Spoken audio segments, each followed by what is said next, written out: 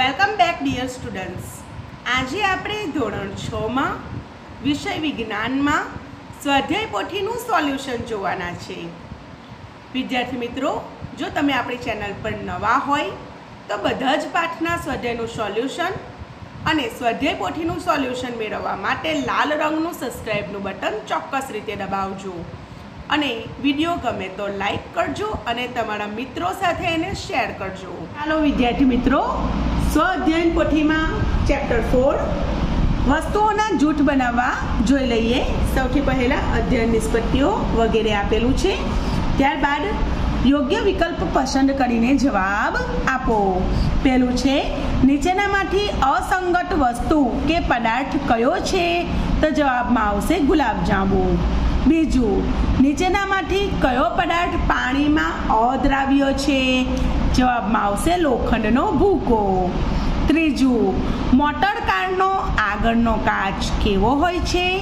જવાબ આવશે પારદર્શક, એટલે કે આડપાર જોઈ શકાય તેવો. આગળ ચોથું છે. નીચે આપેલા પદાર્થોનું લીસા અને ખરબચડા પદાર્થોમાં વર્ગીકરણ કરો. અહીંયા આપણને કૌંસમાં કેટલાક પદાર્થો આપેલા છે. ડોલ, ઈંટ, સાયકલનું ટાયર, રુદ્રાક્ષનો મણકો, મોબાઈલ ફોનનો ટફન ગ્લાસ તાંબાનો તાર, તુવાલ, સાયકલની ટ્યુબ, રકાબી, અનનાસ. તો એમાં છે લીસા પદાર્થો. ડોલ મોબાઈલ ફોનનો ટફન ગ્લાસ, તાંબાનો તાર, સાયકલની ટ્યુબ, રકાબી. આ બધા લીસા પદાર્થો છે અને ખડબચડા પદાર્થો. સાયકલનું ટાયર, રુદ્રાક્ષનો મણકો, ટુવાલ, અનનાસ, ઈટ વગેરે. આગળ છે, નીચેના શબ્દોની સમજ સ્પષ્ટ કરો. પાંચમો પ્રશ્ન, દ્રાવ્ય. કેટલાક પદાર્થ પાણીમાં ઓગળી જાય છે. તો આવા પદાર્થો પાણીમાં સંપૂર્ણ અદ્રશ્ય થઈ જાય છે. તેવા પદાર્થોને દ્રાવ્ય કહેવાય છે. અદ્રાવ્ય. કેટલાક પદાર્થો પાણીમાં મિશ્ર થતા નથી અને ઘણા સમય સુધી પાત્રમાં હલાવવાથી અદ્રશ્ય થતા નથી. તેને અદ્રાવ્ય કહેવાય છે. આગળ છે પાડભાષક પદાર્થોની આડપાડ વસ્તુઓને જોઈ શકાય પણ સ્પષ્ટ નહીં. તેમને પારભાષક પદાર્થ કહેવાય છે. વિદ્યાર્થી મિત્રો, પીળા કલરની પાતળી કોથળી તમે જોઈ હશે. એને પીળા કલરનો કાચ હોય. એમાં થોડું થોડું જોઈ શકાય. એને પારભાષક કહેવાય.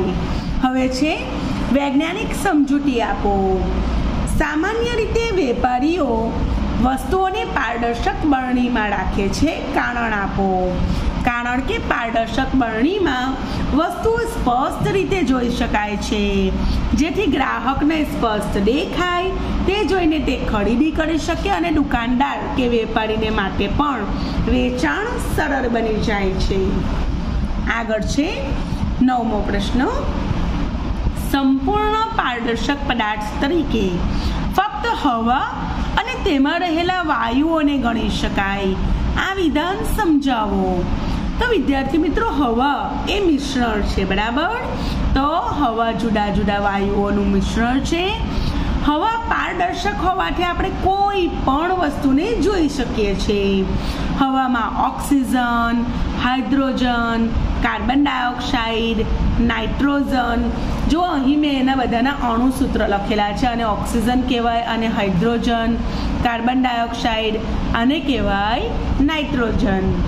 વગેરે જેવા વાયુ હોવા છતાં આપણે સ્પષ્ટ રીતે બધું જ જોઈ શકીએ છીએ. હવે આગળ છે દસમો પ્રશ્ન. તમારી આસપાસ જોવા મળતા કોઈ પણ બે પદાર્થના ચાર ચાર ગુણધર્મ લખો. અહીં મેં પદાર્થમાં પાણી લખેલું છે, જે આપણા સૌના ગળમાં હોય છે. તેના ગુણધર્મો છે તે પ્રવાહી છે ઘન સ્વરૂપે એટલે કે આપણે પાણીને ફ્રોઝનમાં ફ્રીજમાં મૂકીએ તો ઘન બરફ બની જાય છે. તો ઘન સ્વરૂપે પણ તે હોય છે. અને વાતાવરણમાં વરાળ સ્વરૂપે પણ હોય છે. તે રંગહીન છે, ગંધહીન છે અને પારદર્શક છે. બીજો પદાર્થ મેં લીધો છે હવા. એના ગુણધર્મો છે તે વાયુ પદાર્થ છે. તે રંગહીન છે, પારદર્શક છે અને ગંધહીન છે. હવે આગળ તફાવત છે. તફાવત આપો પારદર્શક પદાર્થ અને અપારદર્શક પદાર્થ. વિદ્યાર્થી મિત્રો, ખૂબ જ અગત્યનું છે. તો પારદર્શક પદાર્થ એટલે કે તેમાંથી પ્રકાશ, આડપાડ, સરળતાથી પસાર થાય છે. અને અપારદર્શક પદાર્થ તો તેમાંથી પ્રકાશ, આડપાડ પસાર થઈ શકતો નથી. પારદર્શકના ઉદાહરણમાં કાચ, પછી હવા, પાણી વગેરે. પારદર્શક પદાર્થ છે અને અપારદર્શકમાં દિવાલ જેની આરપાર આપણે જોઈ શકતા નથી, કાળા કલરની કોથરી વગેરે અપારદર્શક પદાર્થ છે.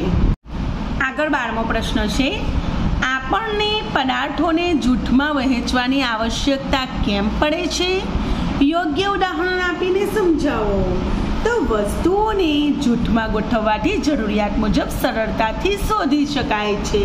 ઉદાહરણ તરીકે દુકાનદાર અલગ અલગ પ્રકારની વસ્તુને અલગ અલગ જૂથમાં ગોઠવે છે. અને ઘરે મમ્મી પણ કિચનમાં એ જ રીતે ગોઠવણી કરે છે ને. તમે જોયું પણ હશે. આગળ તેરમો પ્રશ્ન છે. પાણી, તેલ અને કેરોસીન ત્રણેયમાં ડૂબી જતા પદાર્થોના ઉદાહરણ આપવાના છે. તો લોખંડનો ટુકડો, પછી ખીલી, પથ્થર, ઈંટ, આ બધા એવા પદાર્થો છે જે પાણીમાં, તેલમાં, કેરોસીન વગેરેમાં ડૂબી જાય છે.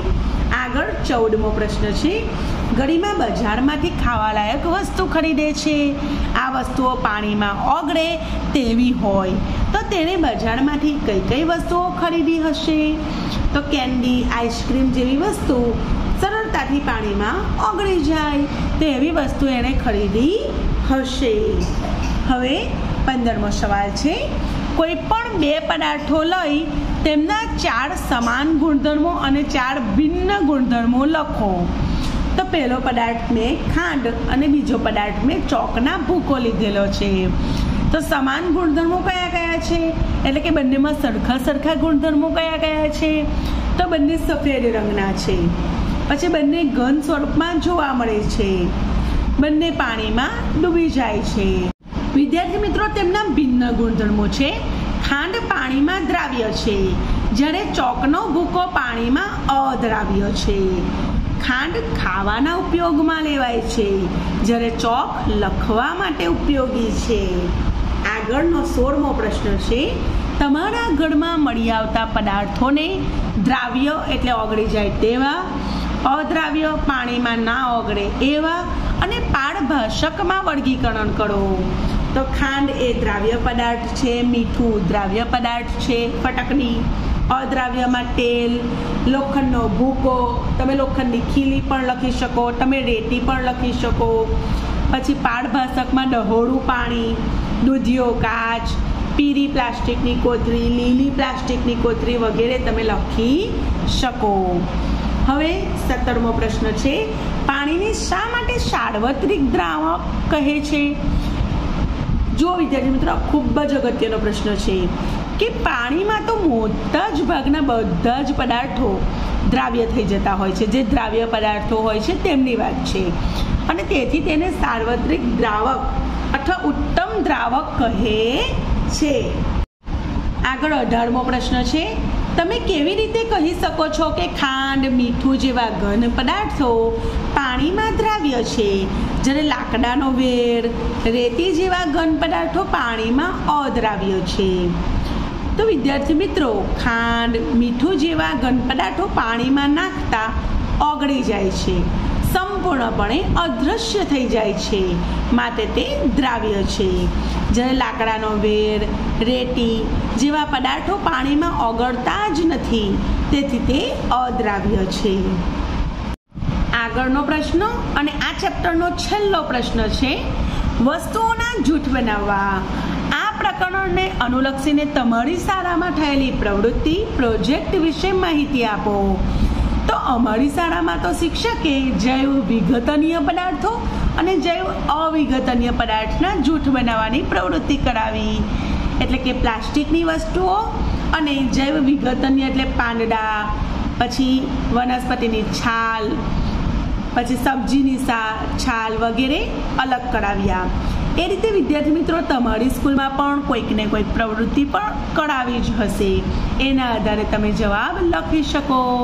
તો આશા રાખું છું, તમને વીડિયો સમજાઈ ગયો હશે, પાઠ પણ સમજાઈ ગયો હશે, મજાનો પાઠ છે. અને લાઈક કરવાનું બિલકુલ ના ભૂલતા. લાલ રંગનું સબસ્ક્રાઈબનું બટન જરૂરથી દબાવજો અને તમારા મિત્રો સાથે વિડીયોને જરૂરથી શેર કરજો. ફરી મળીશું એક નવા વીડિયો સાથે. ત્યાં સુધી આવજો.